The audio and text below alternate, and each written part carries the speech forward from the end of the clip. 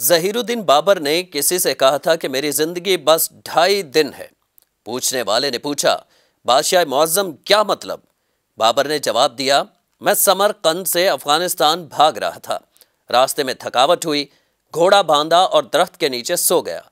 مجھے اچانک اپنا جسم کسا ہوا محسوس ہوا۔ آنکھ کھلی تو دیکھا، ایک بہت بڑے ازدہ نے مجھے کس لیا ہے۔ اور یہ مجھے منہ کھول کر نگلنے کی تیاری کر رہا ہے۔ میرے پاس دو راستے تھے۔ میں خود کو موت کے حوالے کر دوں یا پھر زندگی کے لیے لڑوں۔ میں نے لڑنا شروع کر دیا۔ ازدہ طاقتور تھا اور میں کمزور۔ میں سارا دن اس کے ساتھ لڑتا رہا۔ یہاں تک کہ میں جیت گیا اور میں نے ازدہ کو مار دیا۔ میں اسے زندگی کا ایک دن سمجھتا ہوں۔ دوسرا دن اس سے بھی مشکل تھا۔ میرے جسم پر خارش نکل آئی۔ میں سر سے پاؤں تک خارش زدہ تھا۔ میں کپڑوں کو چھو تک نہیں سکتا تھا۔ سارا دن جسم پر مالش کر کے دھوپ میں لیٹا رہتا تھا۔ میرے دشمن شیبانی خان کو میری بیماری کا پتہ چلا تو وہ عیادت کے لیے پہنچ گیا۔ میں نہیں چاہتا تھا کہ وہ مجھے بیماری کے عالم میں ننگا دیکھے۔ لہٰذا میں نے طبیبوں کے روکنے کے باوجود شاہی لباس پہنا اور آگے بڑھ کر اس کا استقبال کیا۔ وہ سارا دن میرے پاس رہا۔ میرے پورے جسم پر خارش ہو رہی تھی۔ مجھے لگتا تھا میں نے انگاروں کا لباس پہن رکھا ہے۔ لیکن میں نے اس کے باوجود اپنے جسم کے کسی حصے پر خارش نہیں کی۔ وہ جو ہی محل سے نکلا، میں نے اپنے سارے کپڑے اتار دیے۔ میرا پورا جسم لہو لہان ہو چکا تھا۔ وہ میری زندگی کا دوسرا دن تھا۔ وہ رک گیا۔ پوچھنے والے نے پوچھا، اور آدھا دن؟ بابر نے ہنس کر جواب دیا۔ میری ساری فتوحات اور بادشاہت صرف آدھے دن کے برابر ہیں۔ ہم اسے اقتدار کا بابری فارمولہ کہہ سکتے ہیں۔ اور اس فارمولے کے مطابق ڈھائی دن کی زندگی میں اقتدار کی حیثیت آدھے دن سے زیادہ نہیں ہوتی۔ باقی زندگی صرف اور صرف برداشت ہے اور برداشت حکمرانوں کا اثاثہ ہوتی ہے۔ آپ اگر برداشت نہیں کر سکتے اور آپ اگر اپنی سوچ، اپنے فیصلوں، اپنی نفرت، اپنی خواہش اور اپنی پسند کو دوسروں سے چھپا نہیں سکتے تو پھر آپ حکومت کے قابل نہیں ہوتے۔ آپ پھر عام آدمی سے بھی کمزور ہیں۔ میں اکثر لیڈرشپ کے پیشنز میں امریکی صدر جان ایف کینیڈی کا واقعہ سناتا ہوں۔ کینیڈی کے والد جوزف پیٹرک کینیڈی امریکہ کے مشہور بزنس مین اور سفارتکار تھے۔ وہ برطانیہ میں امریکہ کے سفیر بھی رہے۔ وہ انتہائی سمجھدار اور زیرک انسان تھے۔ جان ایف کینیڈی صدر بننے کے بعد اپنے والد سے ملنے گیا اور اس سے کہا، میں ایک مخمسے کا شکار ہوں۔ والد کتاب پڑھ رہا تھا، اس نے سر اٹھا کر پوچھا، کیا مطلب؟ کینیڈی نے جواب دیا، میرے بے شمار معاشقے ہیں۔ میں صدر بن چکا ہوں، میں اب ہر وقت ایجنسیوں اور میڈیا کی نظروں میں رہوں گا۔ مجھے خطرہ ہے میں اپنے معاشقوں کو زیادہ دیر تک میڈیا ایجنسیوں اور اپنی بیوی سے خفیہ نہیں رکھ پاؤں گا۔ والد نے کہکا لگایا اور کہا، تمہیں فوراً استعفیٰ دے دینا چاہیے۔ کینیڈی نے حیران ہو کر پوچھا، کیوں؟ والد نے جواب دیا، جو شخص اپنے معاشقے، میڈیا ایجنسیوں اور بیوی سے نہیں چھپا سکتا، اسے امریکہ جیسے سپر پار کا صدر بننا نہیں چاہیے۔ یہ ہوتے ہیں سیاست دان یہ ہوتے ہیں حکمران یعنی آپ اپنی بیوی کو بھی اپنی سوچ کی ہوا نہ لگنے دیں۔ جبکہ ہمارے ملک میں کیا ہو رہا ہے؟ ہمارے ملک میں آبی وسائل کے وفاقی وزیر فیصل واڈا چودہ جنوری کو کاشف عباسی کے پروگرام میں سیاہ بوٹ لے کر آ گئے۔ وفاقی وزیر نے وہ بوٹ میز پر رکھا اور بوٹ دکھا دکھا کر کہا، پاکستان مسلم لیگ نون نے لیٹ کر اور اسے چوم کر ووٹ کو عزت دی۔ ان کا اشارہ آرمی ایکٹ میں ترمیم کی طرف تھا۔ اور ان کے کہنے کا مطلب تھا، نون لیگ نے بوٹ کی وجہ سے ووٹ دیا۔ فیصل واؤڈا کی یہ حرکت پورے ملک میں پھیل گئی اور میڈیا، حکومت، اداروں اور عوام کی طرف سے رد عمل آنے لگا۔ ملک کے تمام صحافیوں، اینکرز اور سیاستدانوں نے کھل کر مذمت کی۔ لیکن وزیر اعظم نے چوبیس گھنٹے بعد واؤڈا کو ہلکا سا ڈسپلیئر شو کیا۔ اور یہ واقعہ اس قدر قابل افسوس اور ناقابل برداشت تھا کہ حکومت کا کوئی ترجمان اسے ڈیفینڈ کرنے کے لیے تیار نہیں تھا۔ بہرحال دباؤ آیا اور خوفناک آیا۔ یہاں تک آیا کہ پیمرا نے پندرہ جنوری کے شب کاشف عباسی اور ان کے پروگرام پر دو ماہ کے لیے پابندی لگا دی۔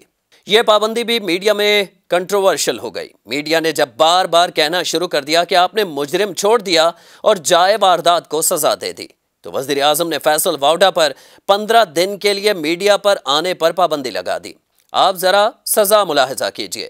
پندرہ دن کی پابندی اور وہ بھی میڈیا میں آنے پر۔ واہ، کیا بات ہے۔ چوپٹ راج کی یہ بظاہر چھوٹا سا واقعہ تھا۔ لیکن یہ واقعہ اپنے منہ سے بے شمار حقائق بتا رہا ہے۔ حکومت کو اب یہ ماننا ہوگا، اس کے وزراء صرف تجربے میں مار نہیں کھا رہے، یہ عدم برداشت اور تہذیب کی کمی کا شکار بھی ہیں۔ یہ گفتگو کے دوران بھی عقل کھو بیٹھے ہیں۔ اور یہ اپنی حرکتوں سے بھی حیران کر دیتے ہیں۔ آپ کسی وزیر کو دیکھ لیں، یہ آپ کو دفتروں میٹنگز پریس کانفرنس اور لائیو ٹیلی ویژن شو میں موبائل فون پر مصروف نظر آئے گا۔ یہ لوگ سفیروں اور غیر ملکی وزراء کے ساتھ بھی میز پر آمنے سامنے بیٹھ کر ملاقات کرتے ہیں۔ آج تک کسی نے ان کو یہ نہیں بتایا کہ میز پر آمنے سامنے بیٹھا سفیر یا مہمان وزیر کی بے عزتی ہوتی ہے۔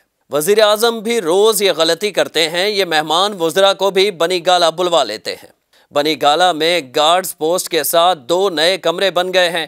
وزیر اعظم مہمانوں کو وہاں ملتے ہیں۔ گارڈز نے باہر شلواریں دھو کر لٹکائی ہوتی ہیں۔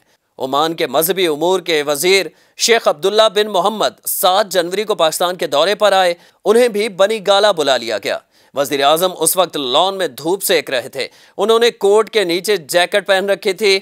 اور دائیں بائیں عام سی کرسیاں پڑی تھیں۔ عمانی وزیر کو انہی کرسیوں پر بٹھا دیا گیا اور ہلکی پھلکی بات چیت کر کے روانہ کر دیا گیا۔ میں اس میں وزیر اعظم کو ذمہ دار نہیں سمجھتا۔ یہ زندگی میں پہلی بار وزیر اعظم بنے ہیں۔ یہ پروٹوکول کو نہیں سمجھتے۔ وزیر اعظم کو سمجھانا پروٹوکول ڈپارٹمنٹ کا کام ہے۔ یہ انہیں بتائیں مہمان کیا ہوتے ہیں اور ہمیں ان کے ساتھ کیا سلوک کرنا چاہیے۔ ہم ایک طرف پوری دنیا سے بھیک مانگ رہے ہیں اور دوسری طرف ہم مہمان وزیروں اور سفیروں کے ساتھ یہ سلوک کرتے ہیں۔ ہمیں عقل سے کام لینا چاہیے۔ دوسرا پروٹوکول ڈپارٹمنٹ کو کابینہ کو بھی بریف کرنا چاہیے۔ یہ وزراء کو بھی بولنے، چلنے، اٹھنے، بیٹھنے اور میڈیا کے سامنے آنے کا طریقہ بتائیں۔ یہ وزراء جو چاہتے ہیں بول دیتے ہیں اور جو چاہتے ہیں کر گزرتے ہیں اور اس کی قیمت بعد ازاں ملک کو ادا کرنا پڑتی ہے۔ ہم ایک طرف پوری دنیا میں اکیلے ہو چکے ہیں، دوسری طرف ہم اندرونی نفاق کا شکار ہیں اور تیسری طرف پورا ملک اس وقت قبض کا شکار ہے۔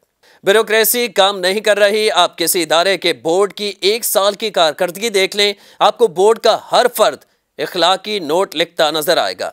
میں دل سے سمجھتا ہوں کہ حکومت نے اس دن بیوروکریسی کے ہاتھ باندھ دیے تھے، جس دن فواد حسن فواد اور احد چیمہ گرفتار ہوئے تھے۔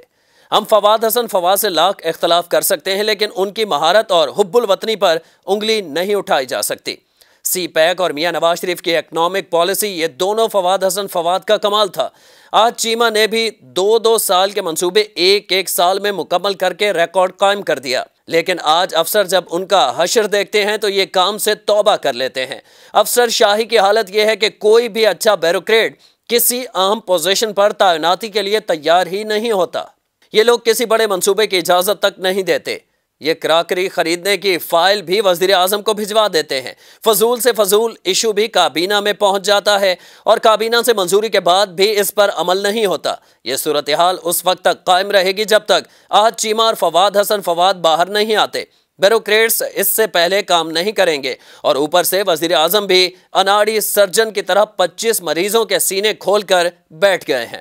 چنانچہ معیشت سے لے کر ماحولیات تک سارے مریض اس وقت آخری سانسیں لے رہے ہیں۔ اور آپ مزید انتہا دیکھیں، فیصل واؤڈا بوٹ لے کر لائیو شو میں آ جاتے ہیں۔ حکومت آخر کرنا کیا چاہتی ہے؟ یہ لوگ کہیں اس ملک سے انتقام تو نہیں لے رہے، یہ سلوک تو کوئی دشمن کے ساتھ بھی نہیں کرتا۔ ہم نے پورا ملک اٹھا کر ایسے نا تجربہ کاروں، غیر تہذیب یافتہ اور متقبر لوگوں کے حوالے کر دیا ہے، جو اسٹوڈیو کی میز پر بوٹ رکھ کر کہتے ہیں کہ یہ لوگ اس بوٹ کو چاٹتے رہے۔ چومتے رہے اور پھر جب رد عمل آتا ہے تو یہ کہتے ہیں کہ کیا ہم نے غلط کیا؟ یہ معذرت تک کرنے کے لیے تیار نہیں ہوتے۔ یہ کیا ہو رہا ہے؟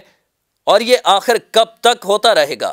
کیا اس ملک میں کسی کے پاس اس سوال کا جواب ہے؟